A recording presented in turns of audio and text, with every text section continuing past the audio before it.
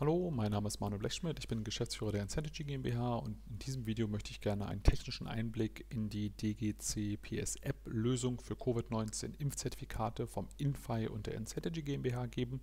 Man sieht hier das GitHub Repository, wo wir im Open Source Stil unsere Software entwickeln. Ähm, wir können sowohl in der RU wie auch in der PU laufen, das haben wir auch schon getestet. Ähm, die RU und die PU sind Telematikinfrastruktursysteme.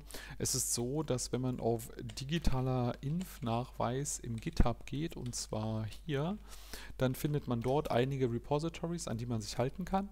Und wenn man hier auf die SMCB-Org geht, dann sieht man hier unten, welche äh, Umgebungen man für den IDP verwenden muss. Und ähm, wenn man in, die, in den Anhang vom, ähm, vom ähm, äh, vom Vertrag mit dem äh, PD, mit der PD GmbH, also mit den Beratern des öffentlichen Dienstes guckt, dann sieht man dort auch die verschiedenen URLs, die man verwenden muss. Ähm, in unserer Software ist das auch hinterlegt. Wenn man jetzt unsere Software benutzen möchte, dann ist das relativ einfach. Und zwar man klickt hier oben auf Code, kopiert sich die URL und dann geht man ähm, in einen Ordner, in den man rein möchte und dann gibt man einfach git clone ein und paste das. Ähm, das geht dann recht zügig und was man dann machen kann, ist, man kann einfach in diesen Ordner reingehen und gibt hier ein mvn quarkus Doppelpunkt dev. Ähm, Quarkus ist es, äh, da fehlt ein R. Äh, Quarkus. Quarkus ist unser, unser Framework, was wir verwenden. Das ist die Evolution von Java EE, Jakarta EE, Quarkus. Und ähm, das bringt sehr viele moderne Technologien mit. Man kann aber sein altes Know-how verwenden. Und wenn das jetzt funktioniert hat, dann kann ich auf Port 8080 gehen. Das heißt, ich drücke jetzt einfach Steuerung und klicke hier auf den Link drauf und bin dann sofort in dem entsprechenden ähm, Formular, wo ich Zertifikate erstellen kann. Wir haben auch eine REST-API. Ähm, da kann ich nachher nochmal die OpenAPI YAML-Datei zeigen, damit man sieht, wie man das anspricht. Genau, ich kann jetzt einfach mal hier ähm, äh, meine verschiedenen Daten eingeben. Geburtstag, ich bin am 16.07. 1986 bin ich geboren, medizinische Einrichtung. Hier würde typischerweise ähm, die BSNR, also die Betriebsstättennummer vom Arzt reinkommen. Und dann kann ich hier unten den entsprechenden Impfstoff auswählen. Ich nehme jetzt mal BioNTech Pfizer. Das Impfdatum setze ich auf heute. Ähm, und wir haben auch Möglichkeiten, dieses Formular vorauszufüllen. Dann müsst ihr einfach mal einen Quellcode gucken, dann seht ihr das. Ähm, dann nehme ich hier die erste Nummer und wenn ich jetzt auf Zertifikat erstellen drücke, dann wird im Hintergrund wird ein äh, OpenID-Dance mit dem IDP ausgeführt. Und da würde ich jetzt gleich auch nochmal ein paar Details dazu zeigen, wie das funktioniert. Und hier kriege ich jetzt mein entsprechendes ähm, Zertifikat, wo ich sehe, ähm, äh, dass es hier sich um Demo handelt und ähm, das würde halt auch, auch mit echten Zertifikaten funktionieren. Haben wir auch heute schon ausprobiert. Wir können bestätigen, dass die RKI-Systeme laufen. Ich habe jetzt noch einen kleinen Fehler an meinem Geburtstag, aber den werde ich wahrscheinlich einfach falsch eingegeben haben. So, jetzt ein bisschen Technik dazu. Und zwar, ich mache jetzt unser Quarkus hier mal wieder aus und gehe mal hier in Visual Studio Code rein und erzähle ein bisschen was, wie unsere Lösung funktioniert. Aktuell ist die Hauptkonfiguration ist in der Application.properties. Ähm, da arbeiten wir aktuell auch dran, um einfach sicherzustellen, dass diese Konfiguration ein bisschen dynamischer wird. Ähm, die ist auch zwischen äh, RU-Umgebung und PU-Umgebung ist die auch unterschiedlich. Und wer sich auch gerade gefragt hat, war, warum hat das bei mir gerade geklappt? Ich habe hier, ich, ich, bin hier mit dem, mit dem RU-Netzwerk verbunden. Also ich habe ähm, ein VPN zu einer Einrichtung, die mir dann einen RU-Connector zur Verfügung stellt. Und hier seht ihr zum Beispiel auch, dass die 10 0098, das ist ein Connector. Also ich kann euch kurz mal zeigen, das ist jetzt ein Secunet-Connector, äh, einfach nur damit ihr mal kurz seht, äh, wo der ist. Und zwar hier, das wäre hier das Backend vom Secunet-Connector. Ähm, so müsste das auch bei euch aussehen, wenn das hier lädt. Hier ist er. Und ähm, auf der normalen Oberfläche, wenn ihr da connector.sds eingebt, dann würdet hier ihr auch die entsprechenden Services finden, die dort aus, auf dem Secunet Connector zur Verfügung stehen. Ähm, ich habe jetzt hier mit noch ein Zertifikat, was, was ich für meine lokale Umgebung brauche. Und hier seht ihr auch, wir haben einen PTV4-Connector ähm, und die ganzen verschiedenen Services stehen hier zur Verfügung. Ähm, die brauchen wir halt auch teilweise. Dann, was man typischerweise als erstes macht und was sicherlich für die meisten Leute einfach sehr interessant ist, wir haben hier einen IDP-Client-Test. Und dieser IDP-Client-Test, den kann man einzeln laufen lassen. Und wenn ich hier auf Run Test drück, drauf drücke, dann sehe ich unten in der Konsole einen kompletten Trace von einem jetzt hoffentlich erfolgreichen Lauf, äh, wie sich unser System einen IDP-Token holt. Ähm, da ich das aber jetzt schon drei, vier, fünf Mal getestet habe, würde mich das wundern, wenn, wenn, wenn das nicht funktioniert. Also was hier technisch passiert ist, dass ähm, wir gehen zu dem Connector, ähm, holen uns dann Service. Ja, ich lasse es kurz mal durchlaufen. Und dann würde ich da einfach äh, nochmal auf die einzelnen Dinge eingehen. Genau, also es war jetzt mal erfolgreich. Und zwar hier ist der Access-Token, hier ist der Token. Das ist das, was man haben möchte. Das ist das, was wirklich schwierig ist. Und jetzt würde ich nochmal Schritt für Schritt durchgehen, ähm, wie das unten funktioniert und oben nochmal die entsprechenden Teile im Code zeigen. Und zwar, also wir fahren erstmal das Quarkus-System hoch. Das Quarkus-System sagt dann einfach, hier ist das, ist, ist das Formular. Und wir haben volles Logging aktiviert. Also das volle Logging kommt aus zwei Bereichen. Es gibt einmal hier oben die System Properties. Die sorgen dafür, dass man die Web Service Calls sehen kann. Also das, was unten blau ist, das sind diese Einträge hier. Und dann gibt es hier nochmal die Logging.properties und da können wir nochmal reingucken. Hier für den Testbereich. Und hier sieht man, dass wir ähm, als, äh, ähm, als äh, Framework für HTTP-Requests verwenden wir den HTTP-Client äh, von Apache, von, äh, ich glaube, die heißt, das heißt HTTP Components. Und hiermit können wir den auf, auf volles Logging stellen. Und damit sehen wir eine ganze Menge. Genau, jetzt gucken wir auch mal kurz durch. Also, was wir hier machen, hier sehen wir, ähm, dass wir zu uBirch connecten, api.ro impfnachweis.info. Ähm, und wenn wir hier in dieses Login reingehen, und zwar hier, genau, hier ist die Base-URL. Also in dieser äh, Base-URL müsste hier der CN drin sein, genau. Also das hier, das hier steht hier drinne und hinten dran kommt nochmal ein Discovery Document. Ähm, äh, genau, das Discovery Document ist einfach da. Äh, wir, wir, verwenden das und zwar, das ist hier und das kann ich euch mal kurz beim Browser zeigen. Und zwar, wenn, wenn, wenn ich hier oben die, äh, den hier nehme und dann das Discovery Document eingebe, so, und dann gehen wir hier oben auf Genau, da unten ist es auch schon. Hier ist die Autovervollständigung. Genau, hier ist das Discovery-Dokument und ähm, hier kriegt ihr die ganzen verschiedenen Informationen, die man so brauchen kann, um mit diesem IDP zu reden. Ähm, und hier sind die verschiedenen URLs. Äh, da ist es, ach so, ja genau, also das, das, das sind sozusagen hier, der scheint noch einen zweiten Namen zu haben, ähm, der dann entsprechend aufgelöst wird. Können wir gleich mal gucken, das interessiert mich jetzt mal, und zwar, äh, was da das System zu sagt, was das da, was das andere für eine IP-Adresse hat. NS Lookup. Dann schauen wir mal. Äh, Paste. Würde ich auch momentan sagen, der ist einfach nicht gut konfiguriert. Ah, genau, okay. Also das hier ist sozusagen dann nachher das System, ähm, id.certify.demo.ubirch.com. Äh, der äh, funktioniert aber auch ganz normal so wie der EU-Impfnachweis. Und da kriegen wir auch, auch, ein, auch, ein, äh, äh auch einen Token her. So, gut, dann geht es weiter im Code. Ähm, wir gehen jetzt hier sozusagen in init, da würden wir die Client-ID reinpacken. Client-ID ist wichtig und zwar Client-ID wird hier konfiguriert und, und da, das ist eine große Fehlerquelle.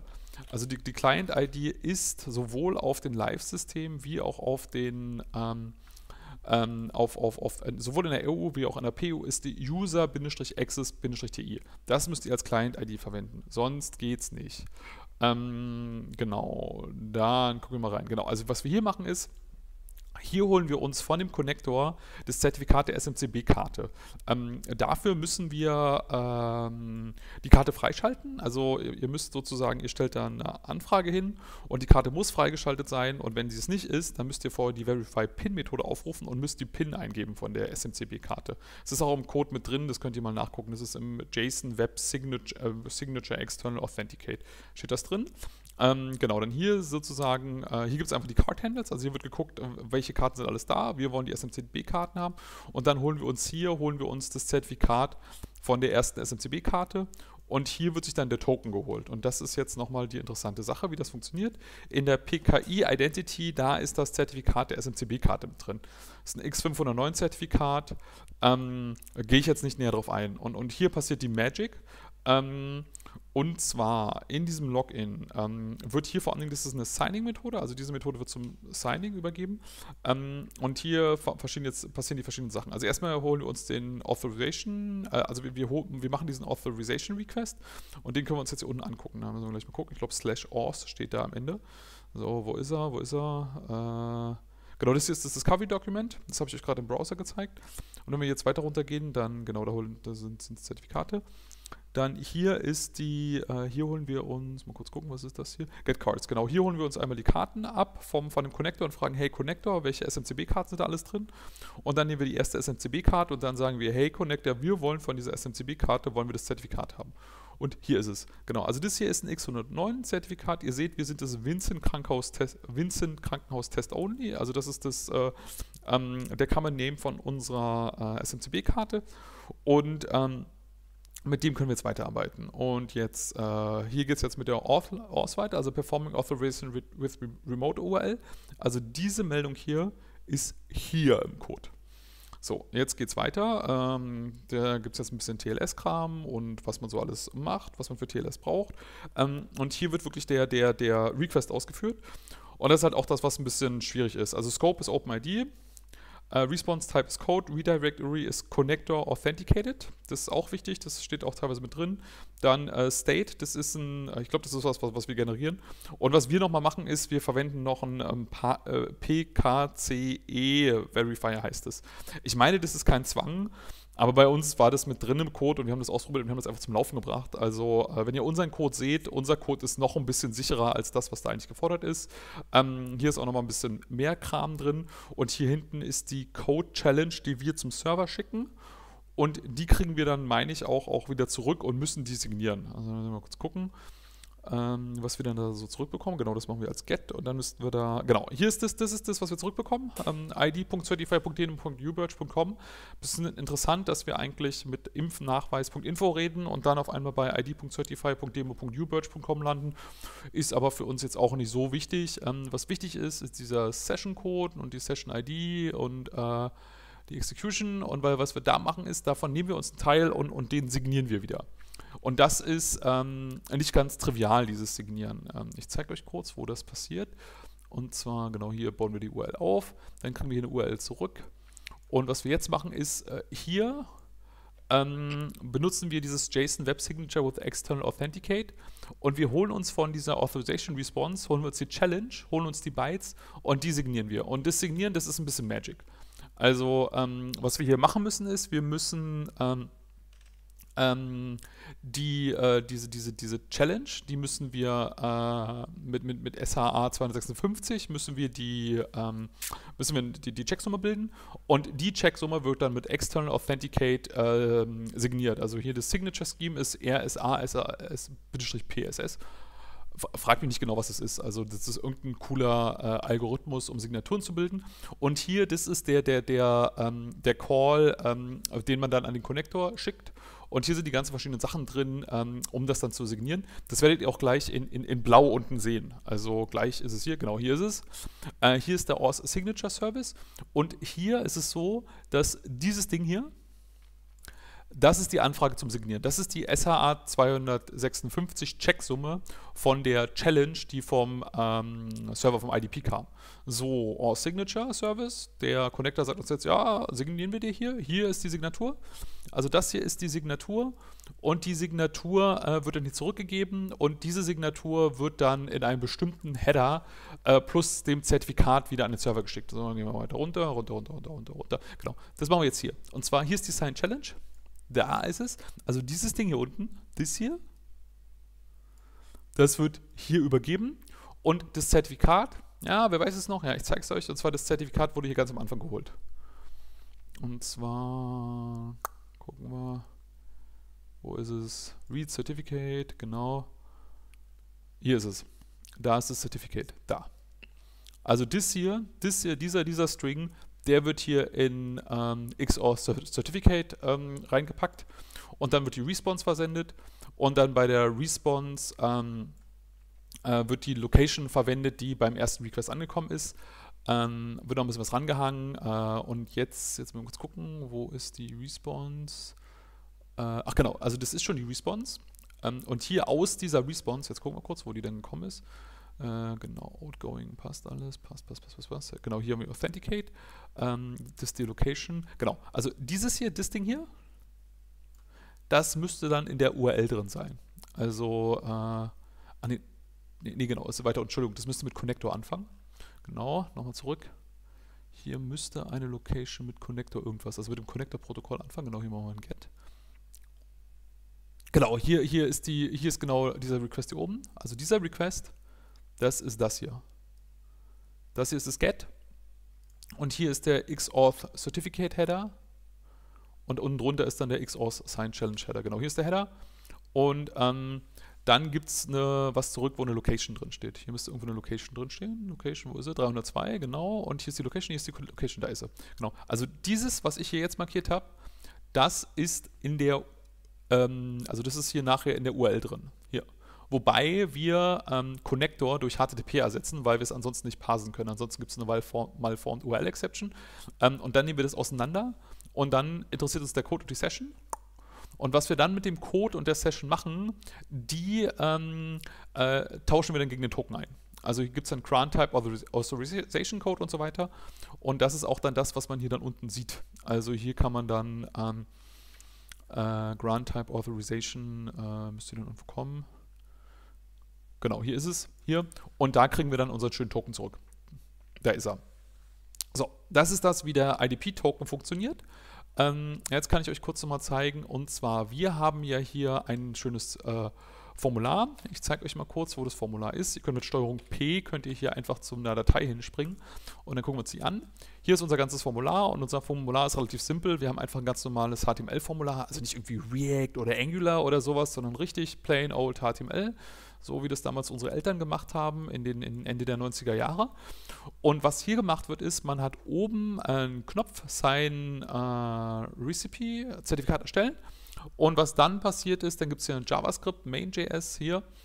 Und ähm, da müsste es unten, müsste es ein JSON, genau hier ist es, Send Destination Request, also es wird sich das äh, Formular geholt, dann wird ähm, das, das ein JSON zusammengebaut und das wird an, der, an den Server gesandt und ähm, damit äh, wird das dann äh, verpackt. Also ich kann euch das kurz zeigen. Und zwar, wenn wir hier in Inspect reingucken, dann gehen wir hier auf Network und jetzt, äh, genau hier mache ich noch den Filter raus.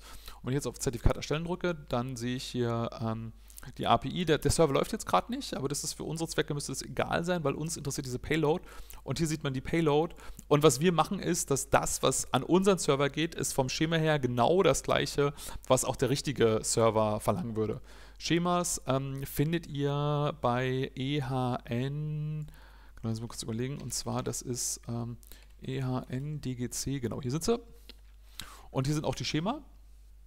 Äh, also wenn ihr hier reinguckt, dann habt ihr hier oben die, hier die Schema, da gibt es Combine-Schema. Und hier sind die alle drin. Und was ich euch, also was ich typischerweise mache, ist, um diese Schemas zu testen, das kann ich euch mal kurz zeigen. Ich nehme dieses ganze Ding, so, hier ist es. Und dann gehe ich zu Google und suche noch Google Schema Validator. Und dann machen wir noch JSON davor und dann online. So. Und was ich dann mache ist, äh, nee, JSON, genau, der hier. Da kann ich auf der einen, ach jetzt ist es sogar schon vorausgefüllt. Also auf der einen Seite habe ich hier dieses schöne Schema, auf der anderen Seite habe ich das, was ich prüfen möchte. Also im konkreten Fall, wenn ich hier nochmal zurückgehe und wirklich das aus meinem, äh, hier das hier nochmal rauskopiere, also machen wir hier nochmal View Source. Dann nehmen wir den, also wirklich den, der unser Server sendet und dann paste ich den hier rein und dann äh, kann ich den nochmal formatieren. Und dann seht ihr, dass das Schema jetzt nicht stimmt. Wir fügen noch ein bisschen was auf dem Server hinzu. Also zum Beispiel dieses C, O, I, S und CI fügen wir hinzu, dann wir füllen auch nochmal diesen FNT aus. FNC ist ähm, ein normalisierter Name, wo du Sonderzeichen Üs, Äs, äh, Es mit Akzenten und ähnliches entfernt werden und nochmal ein paar andere Sachen. Ähm, aber was wir dann senden, funktioniert. Also ähm, das passt. Jetzt zeige ich euch nochmal kurz, was auf dem Server passiert. Und zwar auf dem Server haben wir einen Digital Green Certificate Resource. Das heißt also, was dort geschickt wird, da gibt es zwei Möglichkeiten. Einmal kann man es wirklich als JSON-Objekt lesen, das wäre das hier. Oder man kann auch eine URL eingeben mit den ganzen Parametern. Zeige ich euch auch nochmal kurz. Ähm, da gibt es gerade noch einen kleinen Bug, deshalb zeige ich euch das mal nur beispielhaft. Und zwar äh, bei localhost, wenn ich hier auf, ähm, jetzt muss ich kurz überlegen, und zwar ich meine API Ach genau, da unten war, nee, da war sie nicht. Ich zeige euch kurz mal einfach das GitHub-Issue. Ähm, und zwar, wenn man hier reingeht auf Issues, gibt es hier den hier oben. Und dann gibt es hier diese URL, so sieht die potenziell aus. Und, und die werden wir anbieten. Also da sind wir gerade am Fixen. Ähm, genau, aber so sieht es dann hier oben aus. Und dann würde sofort das PDF zurückkommen. Also der ganze IDP-Dance, das wird alles gemacht und es gibt sofort das PDF zurück. Oder eine Fehlermeldung, das könnte natürlich auch passieren. Ähm, genau, validiert haben wir. Ich wollte euch noch den Server zeigen. Und zwar, es gibt hier das Issue, das sind die einzelnen Parameter. Hier kommt es mit dem JSON rein. Und was wir jetzt machen können, hier wird es PDF, ah, hier ist es schon erzeugt. Und die Magic passiert in dem Digital Green Certificate Service. Genau, wenn ich Steuerung drücke, kann ich da mal direkt hinspringen. Hier ist er und hier ist Issue PDF und hier passiert die Magic. Also ähm, ich habe hier den Aufruf an den eigentlichen Server und das kann ich euch jetzt nochmal zeigen, weil wir können hier auch volles Logging aktivieren. Das mache ich jetzt auch mal. Und zwar, wenn ich auf Application Properties gehe, dann kann ich hier oben die beiden Sachen einkommentieren. Und dann starten wir das ganze Ding nochmal und dann lassen wir es nochmal laufen. Und zwar MVN Quarkus Dev. Ähm, das ist auch mit Hot Reload. Also wenn ihr Quarkus in Dev-Modus laufen lasst und das, was ich gerade gemacht habe, wenn ihr speichert, dann würde der automatisch sofort die Application Properties nochmal laden und äh, damit könnt ihr sowas auch on the fly ändern. Und wenn ich jetzt hier nochmal hingehe, äh, hier, und jetzt einfach hier nochmal drauf drücke, ähm, dann könnte es funktionieren. Hat es jetzt nicht, aber wir gucken jetzt gleich. Wir haben ja volles Login aktiviert, dann sehen wir, woran es liegt. Und zwar, wenn wir jetzt hier hingehen, hier, hier haben wir volles Logging. Und zwar, was jetzt äh, passiert ist, aus irgendeinem Grund hat die Namensauflösung nicht mehr funktioniert. Ja, das kann ich jetzt nochmal kurz zeigen. Und zwar, ähm, der Fix hierfür wäre zum Beispiel folgender. Ähm, das ist häufiger vorgekommen. Also, äh, zeige ich nochmal kurz. Und zwar NSLookup. Paste, so hier. Ja, genau. Also die, aus irgendeinem Grund funktioniert die Namensauflösung nicht. Aber was wir machen können, ist, wir können potenziell einfach in unsere Host-Datei reingehen und da können wir die entsprechende Namensauflösung reinschreiben. Ähm, machen wir nochmal kurz sudo, äh, jetzt holen wir uns jetzt nochmal die richtige IP-Adresse online und zwar nslookup online. Habe keine Ahnung, warum der nslookup da manchmal nicht funktioniert. Also hier und jetzt A-Records, genau hier ist er, der müsste eigentlich kommen. Und äh, jetzt können wir den hier kurz nochmal eintragen. Und dann müsste es auch wieder gehen.